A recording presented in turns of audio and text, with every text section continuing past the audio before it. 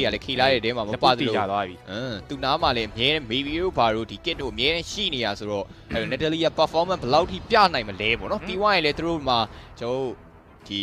ရီစင်ရှင်းနဲ့ပြီးသွားရင်လပူအကောင်လုံးပြန်ပြီးတော့ရတာ UBGG ကိုတော့လက်ဖုပေးလိုက်ရင်တော့တော်တော်လေးတော့မားမယ်လို့တော့ဒီထင်တရဲ့ယ်လပေါ့ပူနော်လည်းဖြစ်နိုင်ဒီလေလက်ဖုလည်းဖြစ်နိုင်တယ်ဟုတ်တယ်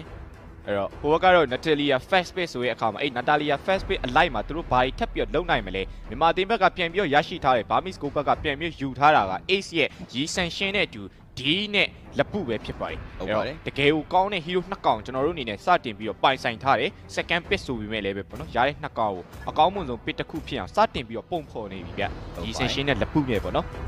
အဲ့တော့ LY4 နဲ့ကျွန်တော်စာနာသူတို့မှရွေးချယ်စရာ hero လေးရောက်များနေပြီအဲ့တော့ cloud သူတို့အနေနဲ့ဒီ cloud ကတော့ goal lane ပဲဖြစ်မလားဒါမှမဟုတ်ရင် hyper ကျွန်တော်ထင်ကျွန်တော်ထင်ပြောရမယ်ဆိုရင် cloud ကတော့ hyper သွားကြတာတော့များတယ်ပေါ့နော်ဒါပေမဲ့ goal lane သွားရင်လည်းသွားမယ်မထပ်ပြီးတော့ပစ်ထားတာချောင်းသွထောင်း flame mid tan ဖြစ် မလားဆိုတော့ကျွန်တော်ကြန့်ရှိနေတဲ့ pick တွေကိုကြည့်ပြီးတော့မှပဲဆက်ပြီးတော့စုံဖြတ်ရမှာဆိုတော့ Barmish ဂူးရဲ့တပ် pick လေးကိုပဲကျွန်တော်သွားပြီးတော့ကြည့်လိုက်အောင်အဲ့ဆိုရင်ကျွန်တော် RSG က Main တေး support ကြနေတာယူစီရင်တခုက main support သူတို့မထုတ်တော့ဘူးလားပေါ့နော်နနတာလီယာလည်းပါတယ်ဆိုတော့လေနတာလီယာ miss support ဖြစ်ရင်ဖြစ်လောက်အဲ့တိုင်းသူတို့မှာ game magic damage ကောလိုလိုတယ်ဗျာလိုငတယ်တဲ့တစ်ခုမှလေအဲ့တော့ Barmish school တင်းနေတယ်သူတို့မိတ်ဆာနာထုတ်မဲ့ပုံစံမျိုးထင်နေသီလားမစ်တန်ကိုနောက်ထပ်တစ်ကောင်တော့တုံးပြီးတော့ကြာလေဘာလို့